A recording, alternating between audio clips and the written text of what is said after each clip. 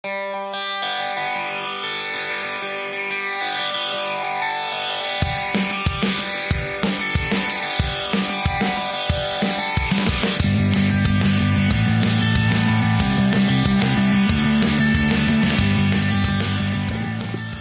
Autoweek rijden we natuurlijk graag elke auto zelf. Maar op een circuit dat vinden we ook leuk en die hebben we niet altijd voorhanden. Gelukkig zijn er racegames, dus af en toe op een vrijdagmiddag gaan we lekker zitten, gaan we racegames spelen. Het is altijd de vraag welke zullen we gaan doen. Er zijn er verschillende en uh, ja, wij vinden de games die het de realiteit het beste benaderen, vinden we het leukste.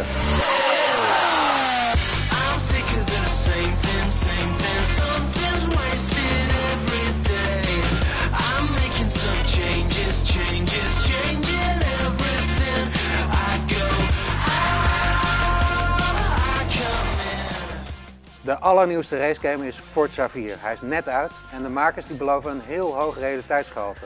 Nou, daar ben ik natuurlijk erg benieuwd naar, dus ik ga hem spelen.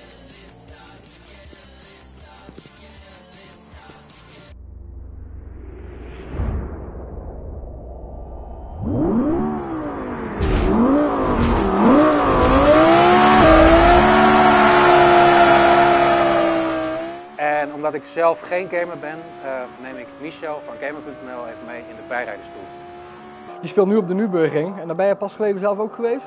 Met deze auto. En uh, ja, dat is wel bijzonder. Met een Lexus LFA op de Nürburgring. Dat is echt uh, een waanzinnige beleving. Dus ja, ja dat, die kans krijg je niet elke dag. Dus is het leuk om het op deze manier nog een keer te herbeleven. Nou, het gaat wel, gaat wel aardig zo te zien. Ja, want uh, vind je dat het overeenkomt uh, tot nu toe, uh, de baan zelf? hoe het eruit ziet en hoe, hoe je erop rijdt? Wat? Nou, ik vind om te beginnen, de baan is wel iets, iets te clean. In het echt is, heb je heel veel soorten asfalt. Eigenlijk, ja, het circuit bestaat al, al vele decennia en het, is, het is dik 20 kilometer lang. Ja. En elke keer moet er ergens wel iets opgelapt worden. Hè. Dus ze gaan niet de hele baan in één keer herasfalteren. Dus uh, je hebt heel veel verschillende soorten asfalt. En hier is het mooi één egale laag. En in het echt is het gewoon uh, ja, een, een lappendeken eigenlijk aan verschillende soorten asfalt. En dat merk je dan ook als je rijdt. Ja. Dat je op verschillende punten verschillende gripniveaus hebt. En ook heel veel hobbels. En het is hier allemaal wat gladder en uh, te mooi eigenlijk. Je ziet het ook aan de curbstones, aan die die randstenen er langs, uh, langs de baan. Ja. Die zijn heel mooi rood-wit, heel clean. En in het echt is het allemaal wat, uh, ja, wat zou ik zeggen, geleefder. De weg is inderdaad te mooi eigenlijk. Ja. En uh, de omgeving, heb je daar ook wat over te vertellen?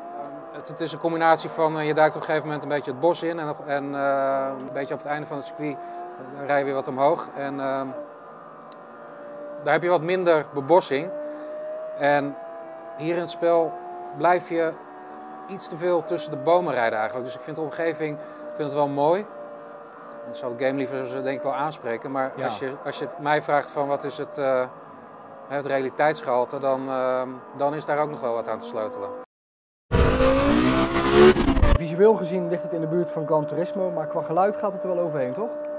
Ja, absoluut. Uh, Gran Turismo is wat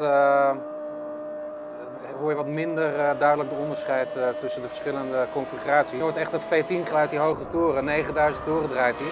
Ja, want als we het dan over realiteit hebben, ja, dan is natuurlijk het belangrijkste gewoon het sturen, de, de handling van de auto, um, de bocht, het bochtenwerk, al die dingen. Ja. ja. Hoe sta je daar tegenover? Voelt dat er nu toe een beetje goed? Of?